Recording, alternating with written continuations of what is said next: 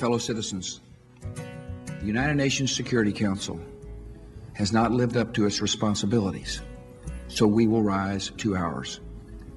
Saddam Hussein and his sons must leave Iraq within 48 hours. Their refusal to do so will result in military conflict, commenced at a time of our choosing. I stand before you today not as an expert, not as one who pretends to have all the answers. I am simply an American and a servant of the American people. Uh, Lieutenant Watada joined the Army voluntarily, and he actually joined after the Iraq War had started. My humble opinions today are just that. I realize that you may not agree with everything I have to say. He's definitely in the wrong, refusing an order because you don't agree with a policy decision is not acceptable for an officer or NCO. Since he is an officer, he's not allowed to speak out or go to protest. He's being suppressed. So, so the only way he can refuse is not to go to the war and not to fight in an illegal war. Today I speak with you about a radical idea. It is one born from the very concept of the American soldier or the service member. We got into this war based on lies and total deception, and that a terrorist act set the stage for frightening the country to go do something about it against the terrorists. That's what's different about this war. The bastards got away with it. They were able to sell this bullshit. It became instrumental in ending the Vietnam War, but it has long been since forgotten. They think this is another Vietnam, and they're dead wrong. This is not another Vietnam. This is a war for freedom and civilization against the forces of tyranny and evil. When you sign up, you have an obligation to follow the orders of the officers appointed over you and the commander in chief, the president. Many Iraqis can hear me tonight in a translated broadcast. If we must begin a military campaign, it will be directed against the lawless men who rule your country and not against you. Your fate will depend on your actions, and it will be no defense to say, I was just following orders. Following The idea is this that to stop an illegal and unjust war, the soldiers and service members can choose to stop fighting it.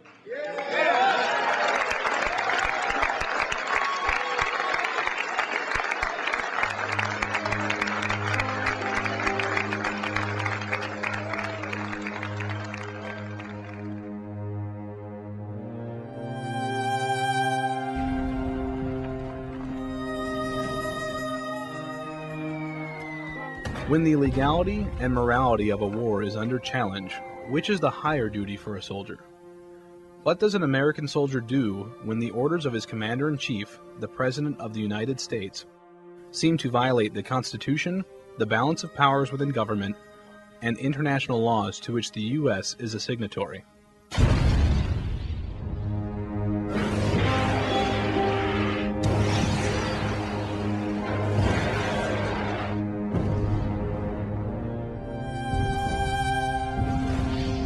What does a soldier do when faced with the possibility that he is being ordered to commit acts of war that may later be deemed to be criminal?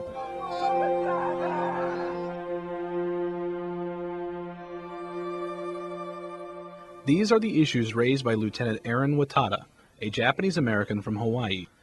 He says that his oath as a soldier binds him to the Constitution and the law of the land, and that President George W. Bush has violated the Constitution and broken the laws both in instigating and carrying out the American military invasion and occupation of Iraq. Cause there's something about us that we don't want to have to face. And there's a killer instinct deep in this American race. Just ask anyone who's been on the other end of that leash, and they'll tell you. Cause there's something about us. These are questions that have never been easily answered. For generations, people have been trying to put a stop to war. Yet the 20th century was filled with some of the most violent, horrendous wars known to humankind, most of which involved invasion and occupation. When Johnny is marching home again. European powers fought each other in a struggle over colonial possessions and economic control during World War I, leading to 10 million deaths. U.S. President Woodrow Wilson took the lead in trying to create a League of Nations to set international standards that might help to stop such aggressive military interventions. But his own Congress refused to go along and he failed. Unfair boundaries drawn by European powers in the Middle East and elsewhere, and onerous conditions heaped on the losers of that war, especially Germany, and renewed struggles to control the oil and other riches of the colonized world led to an even more deadly conflict.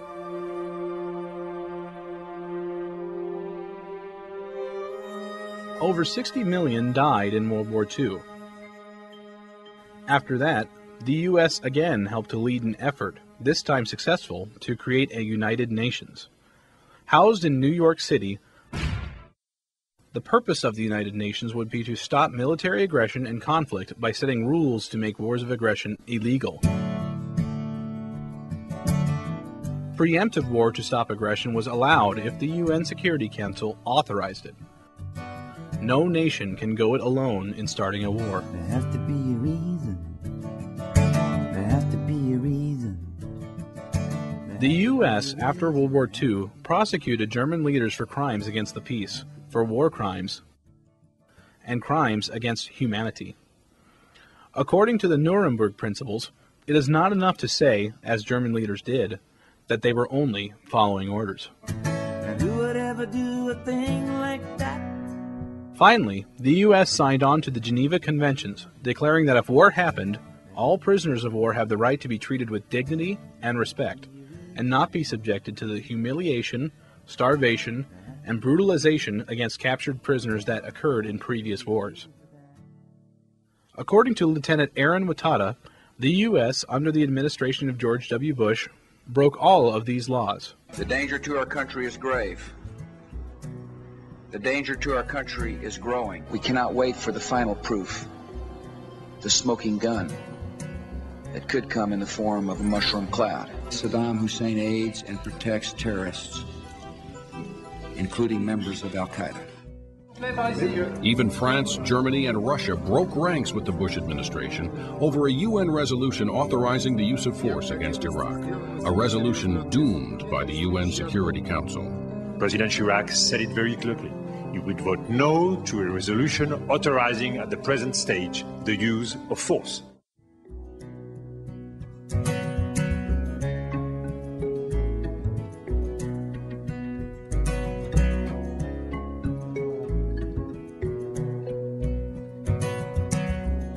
Pictures from the prison in Iraq. The man on the box with his hands on the wires and his head in a sack. The man in the hallway with his neck tied to a leash line. The cigarette grins of the soldiers giving up the high sign. Well, I wish I could believe it when they said it was an aberration. Just a few bad apples and an otherwise smooth. Does Lieutenant Watada have the right to refuse what he believes to be illegal orders? From the very beginning, from the time I, I submitted my letter of resignation seven, eight months ago, uh, I knew that I was going to go to jail. I knew that was the ultimate consequence. So, yes, most likely I will go to jail. Uh, we will try to argue the legal merits of the war, uh, that it is illegal, that it is immoral, uh, and that, offers, that officers and soldiers of conscience should not be forced or compelled to do something that is illegal and immoral. Does he have the right to speak his mind on the issues involved in the war? The U.S. Army says no, and will present its case in a court martial that could send Watada to prison for up to eight years.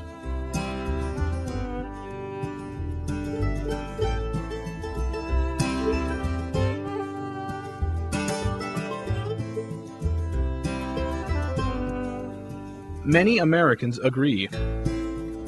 An illegal order is a specific order to perform specific actions.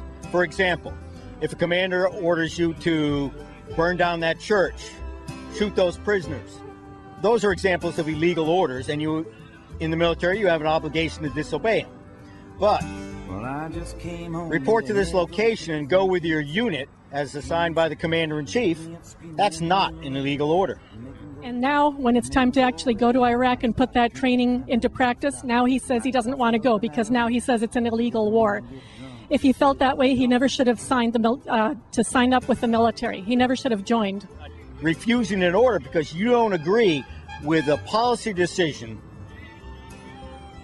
is not acceptable for an officer, NCO, or private in the United States military. The truth is that nobody forced him to join the military. We do not have a draft in this country, and when you don't have a draft, there's no such thing as a conscientious objector. Others, however, say Watada is upholding the best tradition of peaceful protest against unjust wars. The ACLU has filed an amicus brief on his behalf, asserting that in making statements against the legality of the war, Watada was exercising his free speech rights as a citizen in a democratic society. Others back up his charges that the war itself is illegal. In many instances, specific policies of the Bush Jr. administration constitute ongoing criminal activity under well recognized principles of international law United States domestic law, and the U.S. Constitution, especially the Nuremberg Charter, the Nuremberg Judgment, and the Nuremberg Principles. Depending on the substantive issues involved, those international crimes typically include the Nuremberg offenses of crimes against peace, crimes against humanity, and war crimes as well as grave breaches of the Geneva Conventions of 1949, the 1907 Hague Regulations on Land Warfare, torture, enforced disappearances, assassination, and murder. According to basic principles of international law and U.S. Army Field Manual 2710 of 1956, all high level civilian officials and military officers in the U.S. government who either knew or should have known that soldiers or civilians, such as mercenary contractors or the CIA, committed or were about to commit international crimes and failed to take the steps necessary to stop these crimes or to punish them or both are likewise personally responsible for the commission of international crimes. Well, he was he was an Eagle Scout. he was an Eagle Scout. If you're familiar with the Boy Scouts, you know they do take the oath that um, they're not going to lie, they're not going to cheat, um, they're going to be honorable, and um, that's exactly what he's doing. Very patriotically, he joined the military, thinking that he wanted to do something to defend our country. And um, of course, we know the rest of the story. That he soon found out uh, that uh, the Bush administration was lying to the American people, lying to the American, uh, to the world, lying to the military about what was happening in Iraq. And when people lie like this and then cheat, what do you tell your kids? It's okay to lie and it's okay to cheat.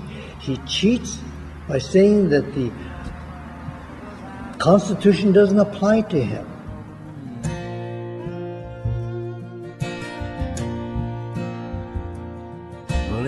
Dangerous taking a stand, but it's dangerous running away. Sometimes you have to face up to the danger, there is just no other way. But there are such beautiful dreams I have seen in the eyes of a child.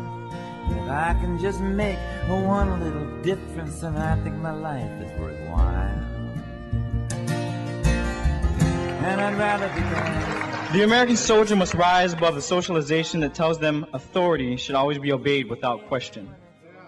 Rank should be respected, but never blindly followed. Awareness of the history of atrocities and destruction committed in the name of America, either through direct military intervention or by proxy war, is crucial. They must realize that this is a war not out of self-defense, but by choice, for profit and imperialistic domination.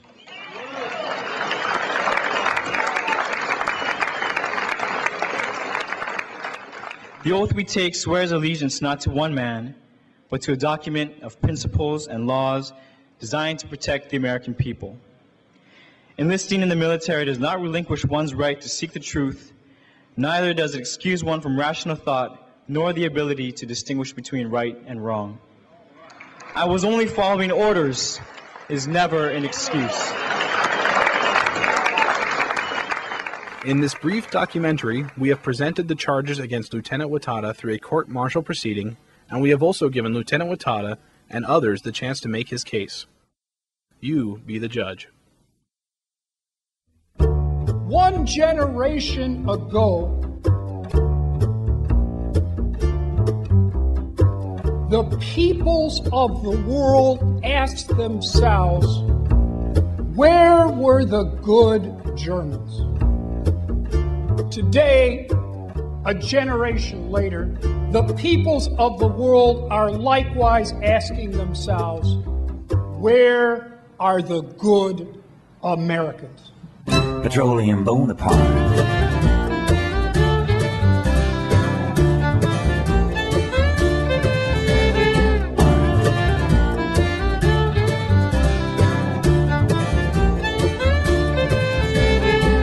George, what's the body count? Does anybody know? When they're brown and foreign, do you bother or do you just let them go?